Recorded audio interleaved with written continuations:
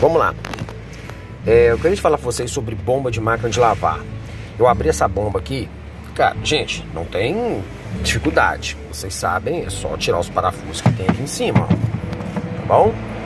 Fiz adaptação aqui, como vocês podem ver, né? Aí eu posso até ensinar vocês aí como é que fez. É um cano aqui que eu colei e tal. Tô colocando no sistema, não vem o caso. Eu queria mostrar para fazer para vocês uma coisa. É, quem trabalha com bomba de máquina de lavar, presta bem atenção numa coisa. Essa bomba aqui, ela já é um pouco mais velhinha, é bem antiga, mas ela trabalha até hoje. Mas quando a, se você desligar ela, ela para. Não é quando você liga ela, se desligar ela para, a gente vai parar, né? Mas quando você liga ela, ela não roda. Ela fica só bum, só fazendo um barulhinho. Aí você tem que ir lá e dar uns tapas nela assim do lado para ela voltar. Esse eixo aqui trava. Aí eu tirei para ver por que está acontecendo isso. Eu estava reparando, não sei se vocês vão conseguir ver aí, ó. Esse eixo está empenado.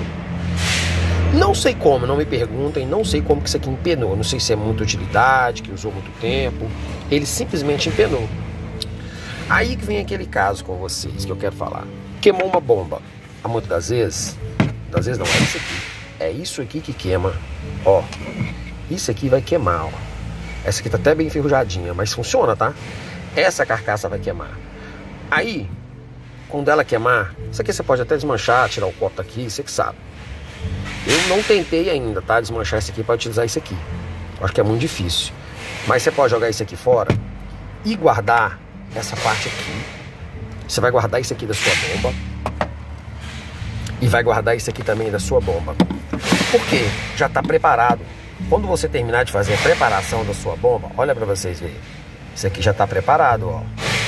Desculpa a bagunça aí, porque eu estou fazendo um vídeo aqui, do lado aqui tem um ferro velho aqui, o cara tá mexendo ali. Aí é por isso que tá esse barulho. É onde eu estou fazendo esse vídeo. Aí, ó, já está preparado. Hoje na internet existe bombas que você compra que já vem só com isso aqui, ó. Ela vem só que você vai ver. Pode ver um vídeo na internet aí.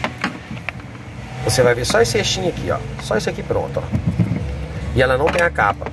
Você vai pegar a capa da sua que você já preparou, já deu todo aquele trabalhinho para fazer ela e vai colocar em cima. É claro, só dá uma olhada se é o mesmo modelo, tá?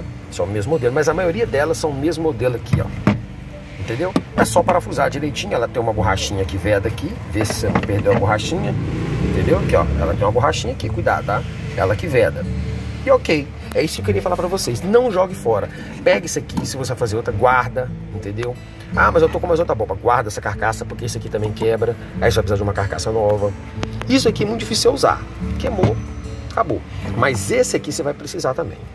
Porque dessa, se eu tivesse uma outra bomba que e esse aqui tivesse bom, eu ia pegar simplesmente colocar nessa e ia funcionar topzera. Como essa aqui tá com eixo empenado, ó, entendeu? Agora eu comprar isso aqui, para mim eu acho que não compensa comprar isso. Eu acho que isso aqui deve ser bobear um pouco. Você vai dar 15 reais, 20 reais numa bomba dessa, usada, não sei se aqui é 10 conto, 15, aí não compensa. Entendeu? A não ser que você encontre aí por 5, 2 reais, aí compensa comprar e fazer a troca. Mas por mim eu vou deixar funcionando desse jeito e vai quebrar no gai por enquanto dessa forma. Mas eu queria explicar isso para vocês a respeito de bomba.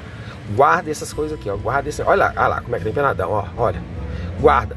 Entendeu? E uma hora também eu acho uma bomba aí também. De repente uma pessoa uma bomba aí que queimou. Eu vou e pego esse eixo aqui e coloco aqui. Se ela ainda estiver viva até lá.